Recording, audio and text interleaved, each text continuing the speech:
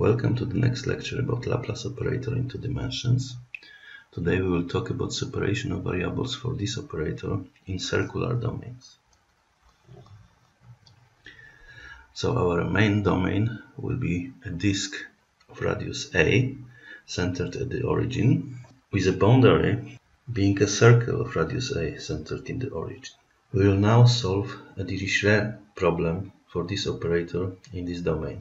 So this is our PDE and now the boundary condition is as follows. The function u, which is our unknown, should be equal to a given function h on the boundary.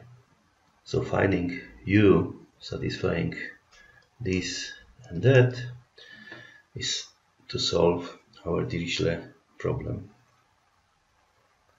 Since our domain has rotational symmetry, it is very convenient to pass from the Cartesian coordinates to the polar coordinates. As you remember, the relation between x and y and r theta is as follows. And when x and y runs through the range, the coordinates r and theta run as follows. r is greater than 0 and theta is between 0 and 2 pi. I also mentioned, and I repeat that this is an exercise for you, to transform the Laplace equation from the Cartesian coordinates to the polar coordinates and when you make this exercise you will figure out that in polar coordinates the Laplace equation looks as follows. So after transforming the problem from Cartesian coordinates to the polar coordinates we are now looking for a function u of r and theta for r between 0 and infinity and theta between 0 and 2 pi. What about boundary condition? The boundary condition which in coordinates xy looked like this. Say now that the function u on the circle of radius a must be equal to a given function of theta. So now we transformed our Dirichlet problem from the Cartesian coordinates to the polar coordinates and in polar coordinates our problem looks like this and we try to solve this problem by our favorite method namely by separation of variables. So we look for our u of r theta in the form of a product of function of r and function of theta. And as always, we want non-zero solution. And now when we insert these ansatz into our Laplace PDE, we'll get the following.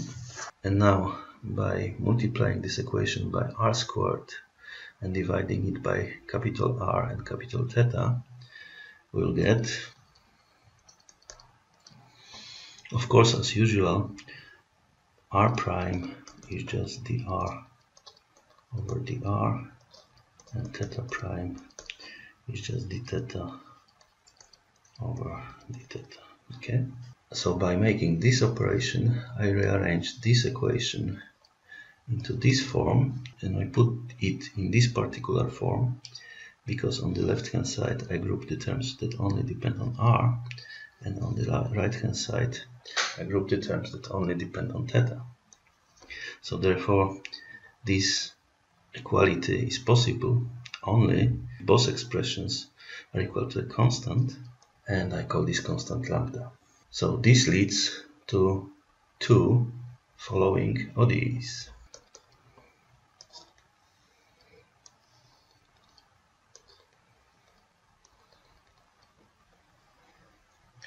Let us concentrate on this ODE in which we recognize our well-known simplest Sturm-Liouville equation and we know its solution. So now remember that our equation for theta is defined on a circle. So our function theta is defined on this circle and the variable which parameterizes the points on the circle is an angle theta. So when theta has value 0 and when theta has value 2 pi, we want that our function capital theta will have the same value. Also, its derivative should have the same value. So we want a solution theta of this equation to satisfy periodic boundary conditions on the circle. So actually we want that theta of 0 is equal theta of 2 pi and theta prime of 0 is theta of theta prime of 2 pi. So we impose such periodic boundary conditions for this equation when our theta was x and our period was L, so now our theta is theta and period is 2 pi. So we know that the solutions here are given by theta n being an cosine n theta plus bn sine n theta.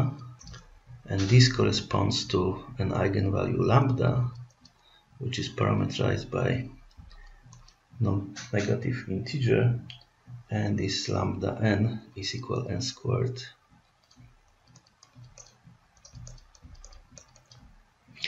So here is our solution to this equation which is periodic on the circle so now we have solution to this equation and we have to find the corresponding solution for the function capital R. So the equation to be solved looks as follows. And a person who had a course on ordinary differential equations will recognize that it is an Euler equation. So it has two independent solutions and when n is not equal to 0 these solutions are r to the power plus minus n. And when n is equal to 0 this equation has as a solution constant or logarithm So now we are looking for our function u of r theta which is non-singular so we want that the function will be non-singular in r equals 0.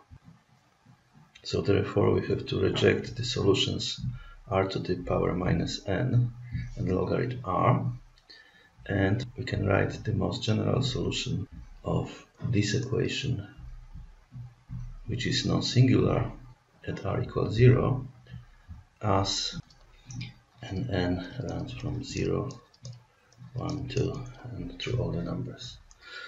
So taking this and that into account, we find our function un of r theta to be r to the power n times an cosine and theta plus bn sine and theta right? So that's our solution. A very simple rearrangement gives and we recognize here and here our harmonic polynomials of degree n in polar coordinates. Okay, so summarizing, we have this solution which is given for every n which is non-negative integer and now our usual approach is to consider as general solution the linear superposition of those. So this results in the most general solution of Laplace PDE in the polar coordinates. And this looks like where I separated the term which doesn't depend on r from the r dependent terms. Therefore this sum starts now from n equal 1 because the n equals 0 term is separated. So now we have to impose our Dirichlet boundary conditions which say that u at r equal a for every theta must be equal a given function h of theta. So this results in a Fourier problem of finding coefficients alpha 0, alpha n and beta n for the function h of theta. And using this what we know, we find that alpha 0 is 1 over pi. Integral from 0 to pi h phi d phi. Alpha n is 1 over pi a to the power n.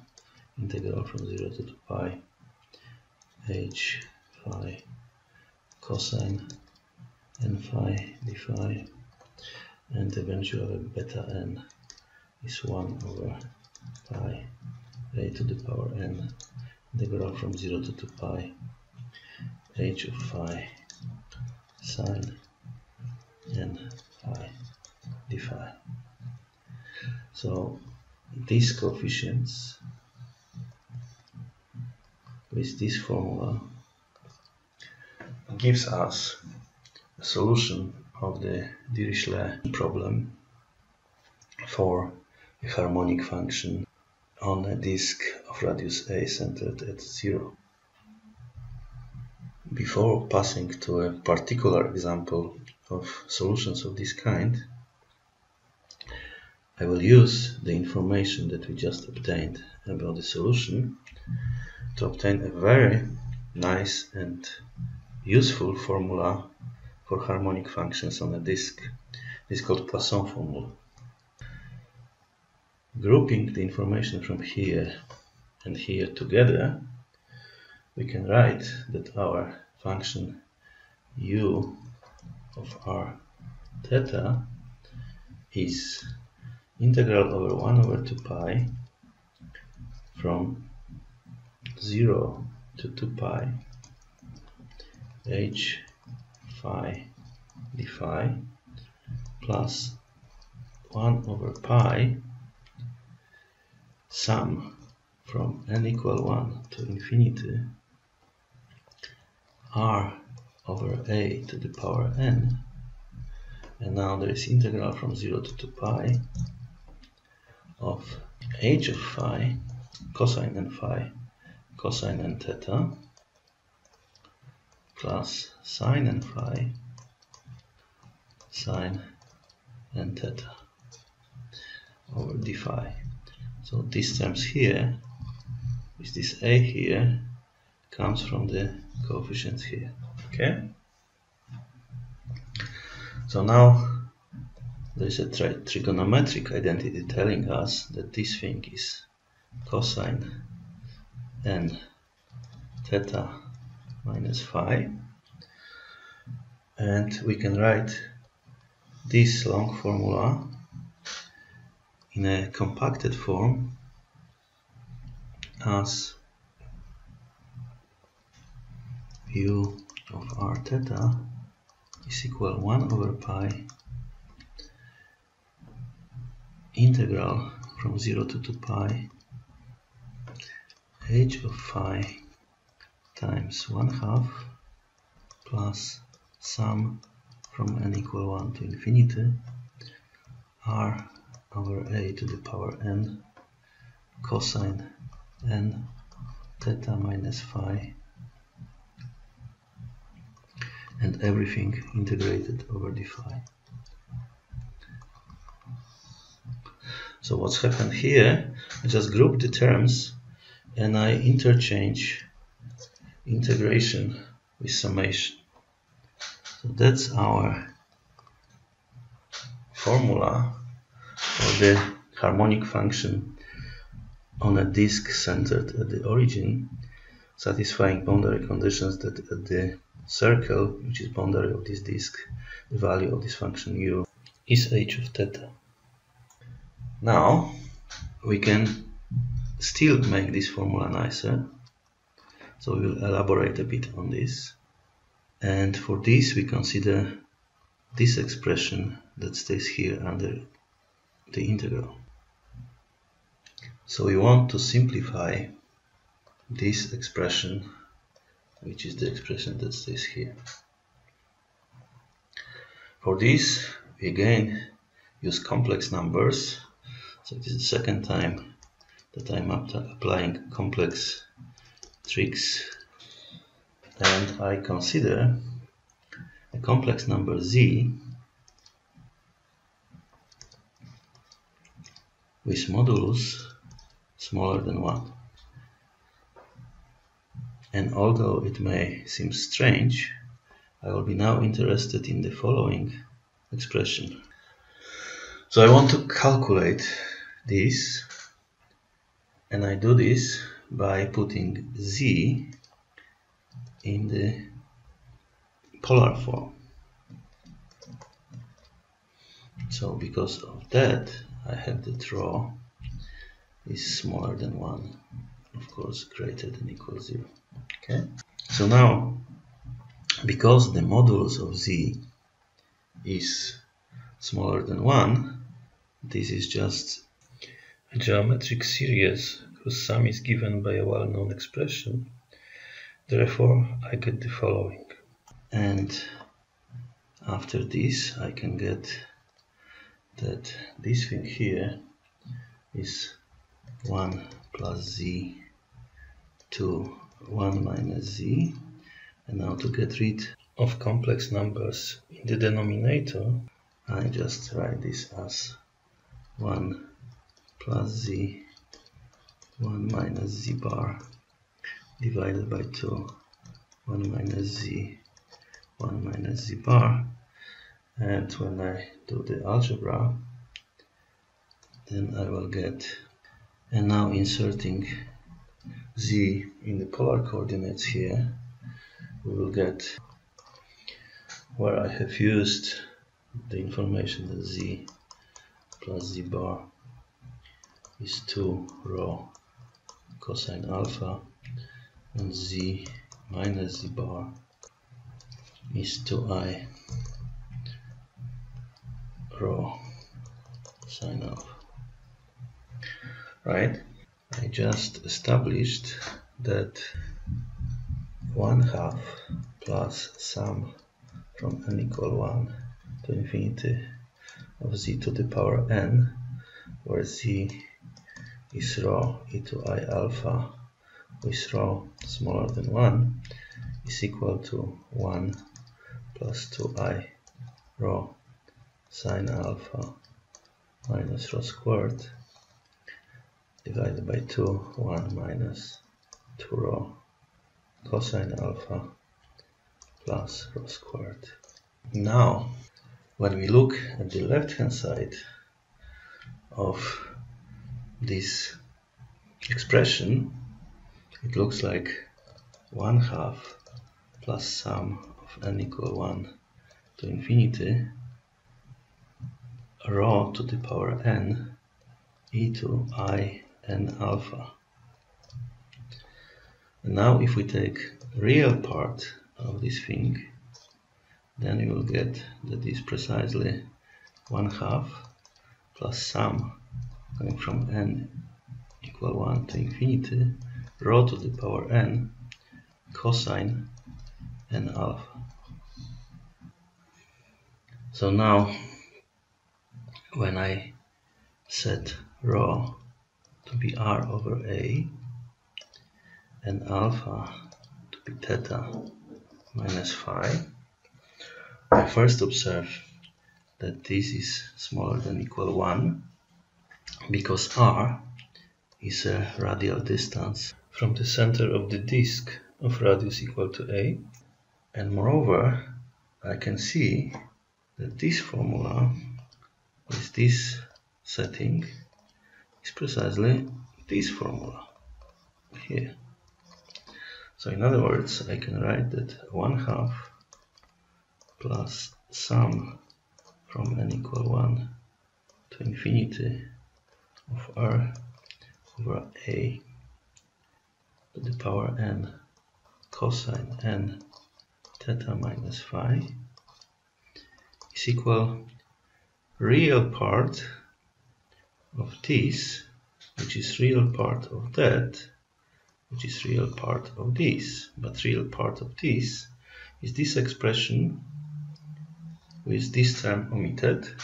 So actually this is equal 1 minus rho squared but it's just r squared divided by a squared 2 1 minus 2 r over a now cosine alpha but alpha is theta minus phi. And then there is plus rho squared which is r squared over a squared. Simplifying we can write it in a more symmetric way. A squared minus r squared by 2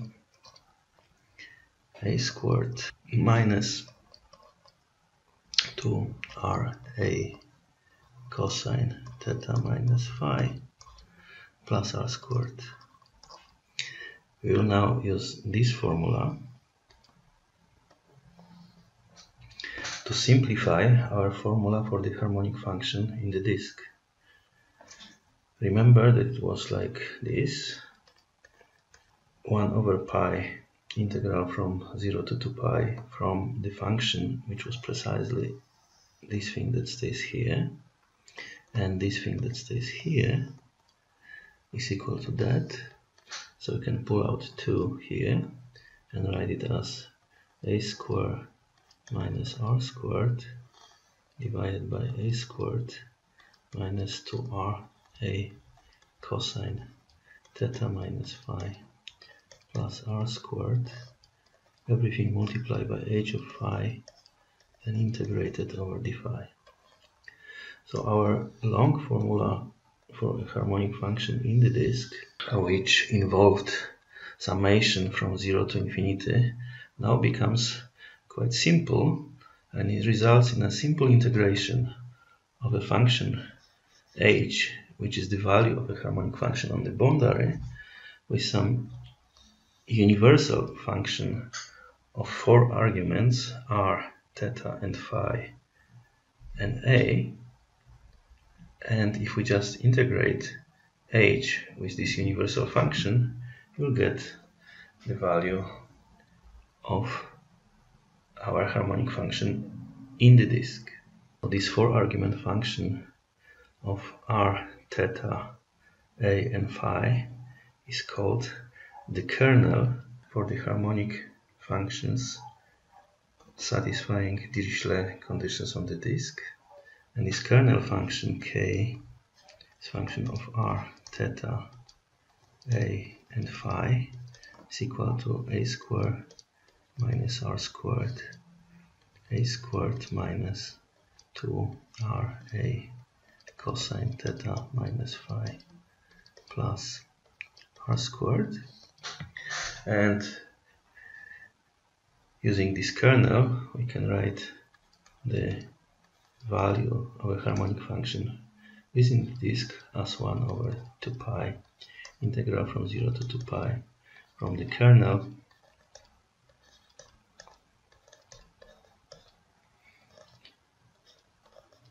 multiplied by the value of the harmonic function on the boundary and integrated over the phi. Let's summarize this in a theorem. The solution for the Dirichlet problem for the Laplace equation on a disk BA is given in polar coordinates by the formula here which is called Poisson formula.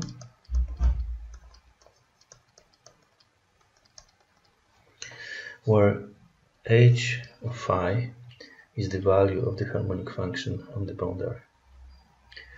The function k of r theta a and phi being a squared minus r squared a square minus 2r a cosine theta minus phi plus r squared is called Poisson kernel of the problem.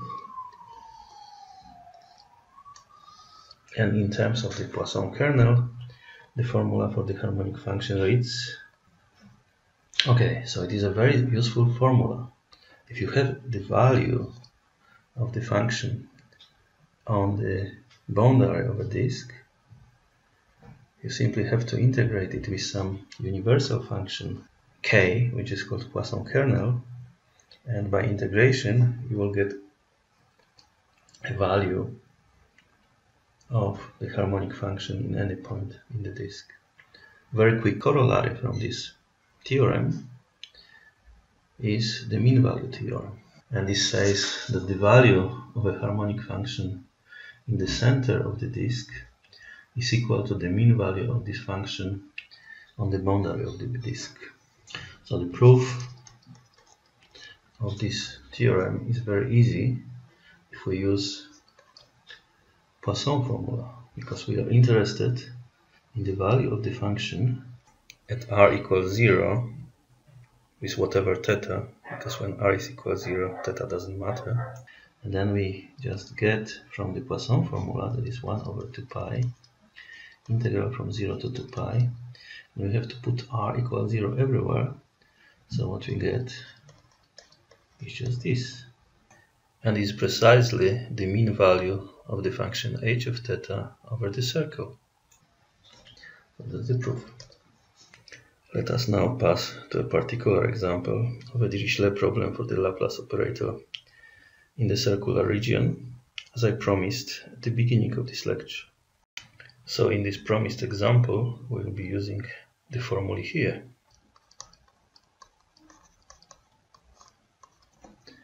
we consider Laplace equation on a disk of radius 1 and want to find a harmonic function that on a circle of radius 1 is such that h of xy is equal to y squared okay?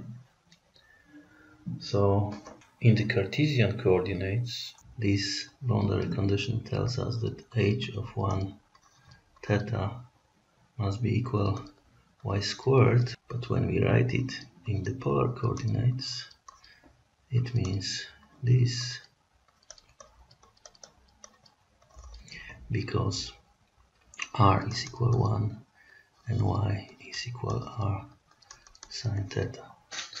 So this boundary condition h 1 theta is simply 1 half minus 1 half cosine 2 theta and therefore our decomposition here is very simple.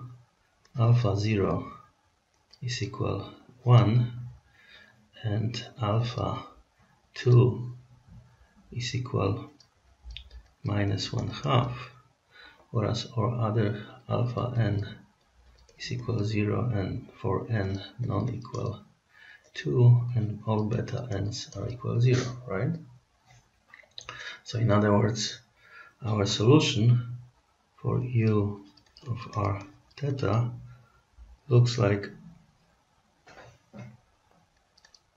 1 half minus 1 half r squared cosine 2 theta, right? But is equal 1 half 1 minus r squared cosine squared theta plus r squared sine squared theta. So when we go back to the Cartesian coordinates, we get 1 minus x squared plus y squared. We can write it also as 1 half 1 minus x squared minus y squared plus y squared. And then it is very visible that on the circle x squared plus y squared equal 1 the value of this function which now is a function of x of y is precisely y squared. So the solution to this problem is given by classical functions this completes our example in the next example I will solve the Dirichlet problem for the two-dimensional Laplace equation on a piece of cake domain. So what is a piece of cake domain? It is a part of a disk of radius a defined in polar coordinates by the following equation. We can draw a picture just like a piece of cake. So this will be our domain what will be the PDE? As before, the Laplace equation, which in polar coordinates looks like this. And what will be the boundary conditions? We'll consider Dirichlet boundary conditions. So at the boundary, which is the piece of the circle here, the function u of a and theta is supposed to be equal to a given function of theta. And at the lateral boundaries of the cake the function u is supposed to be zero. So in formulae we want that u of a for any theta is a given function h of theta for theta between 2 pi and 0 and u of r at 0 and u of r at gamma is supposed to be 0 for every r from 0 to a. So this is our PDE. These are our boundary conditions. And we want to find function u of r and theta in the interior of this piece of cake. So for r between 0 and a, and theta between 0 and gamma. So if you just take u of r of theta as r of r and theta of theta, we will get usual separation as in the circular region and the equation for theta to be theta double prime plus lambda theta is equal to 0 but now we have these boundary conditions which tells us that the solution to this equation which must be sine square root of lambda theta equals 0 because at small theta equals 0 the solution must be equal to 0 but now the other condition that sine of square root of lambda gamma must be 0 tells us that lambda must be equal to n squared pi squared divided by gamma squared. And the solutions corresponding to this lambda n are theta n, which are just sines of n pi divided by gamma theta. And here n runs from 1 to 3 and so on. So this is the solution of this equation which satisfies the imposed boundary conditions. And now we have to solve this equation for a given lambda.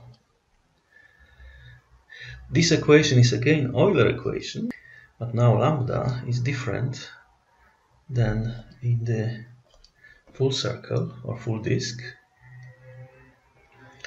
Therefore, the solution here is r to the power plus minus n pi gamma. And if we just want to choose solutions that are regular at r equals 0, then we have to exclude solutions with the minus sign here and un of r theta is therefore an r to the power n pi divided by gamma sine n pi divided by gamma of theta. So this is the solution of this equation with these boundary conditions. And now because our PDE and boundary conditions are linear in U, then we can superpose these primitive solutions, obtaining as the most general solution in this class a solution in terms of a series. Now we have to use the last boundary condition corresponding to the value of the obtained function u at, at the edge of the cake which is just piece of a circle. So we want that h of theta is equal to u of a of theta and then it is equal to sum from n equal 1 to infinity of alpha n a to the power n pi divided by gamma sine n pi divided by gamma theta.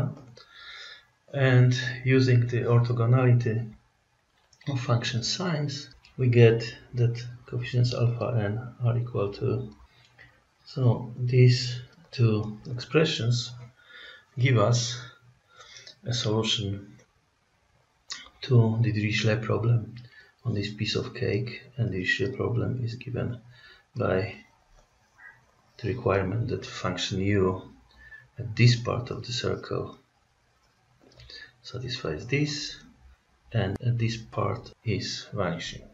No big deal, but now let us see what's going on when gamma is equal to 2 pi. Remark, consider the case where gamma is equal to pi. Right?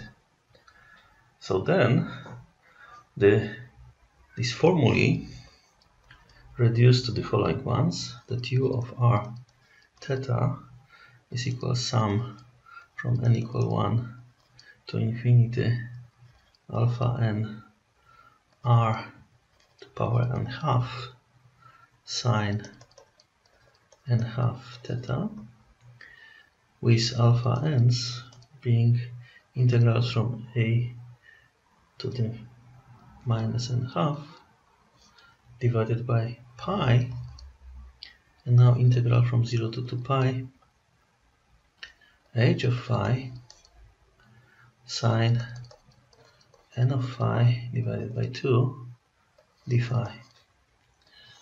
So that's the solution of this Dirichlet problem on a piece of cake which is actually entire cake. Right? So it is a solution of this Dirichlet problem on entire disk of radius a.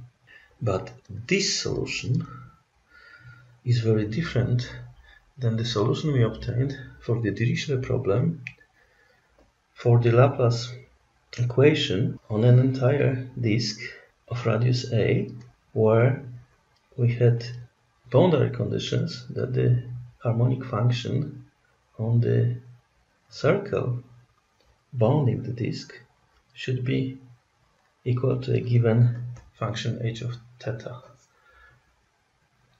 Recall that there we had u of r theta with coefficients alpha n and beta n given by this is a very different expansion even if we forget about these coefficients, look that here the R dependence is such that only integer powers of R appear, whereas here we have that half integer powers appear. So these are very different solutions. And this one is a solution about harmonic function on the disk of radius a, which on the boundary has value of its harmonic function equal to h of theta. And this one is also a solution for a harmonic function on a disk of radius a, which at the boundary has a given function h of theta. But this solution and this solution cannot be the same. We have these two different formulae. Why? Aha, because in this problem we have here a distinguished interval which corresponds to theta equals 0 and theta equal to pi. And in this problem, apart from the boundary conditions at the circle, which are the same as here, we have additional requirement that the function u at this interval vanishes. So u is 0 here. Whereas in this case, we don't have such interval distinguished because we imposed periodic boundary conditions. So this is a solution with periodic boundary conditions and it's a solution with boundary conditions that on this half interval require that the harmonic function must be zero. So is why they are different. As the last topic in this entire series of lectures, we'll consider Poisson equation on a disk. So let's write Poisson equation, which is just inhomogeneous Laplace equation with inhomogeneity given by a function f of xy. And we want that this equation will be satisfied on a disk BA. So because we are in the circular region, it's much better to consider this equation in polar coordinates, which look like this. And now the inhomogeneity is given in terms of a function f of r and theta. We want function u of r and theta to be solution to this equation in the region of the disk, namely when r is between 0 and a and theta belongs to the interval 0 to pi right? We want that our solution satisfies Dirichlet boundary conditions. So we want that at the boundary of the disk which is the circle the function u satisfies u of a of theta is equal to a given function h of theta. And now, if we recall the situation of Laplace equation on such a disk, then we noticed there that the dependence of theta was governed by orthogonal functions which were sine and theta and cosine and theta.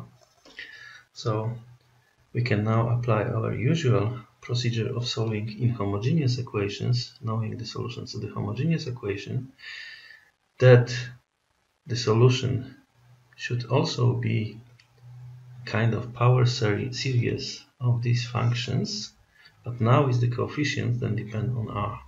So we postulate a solution u of r theta in the form because we postulate solution like this we also have to decompose the inhomogeneity into the orthogonal set of functions of sines and cosines. So then f of r theta must be equal to delta 0 of r divided by 2 plus the similar infinite sum as in U of r theta. And now when we insert this and that into our Poisson PDE, we'll get relations for these unknown functions fn and gn. These equations look as follows.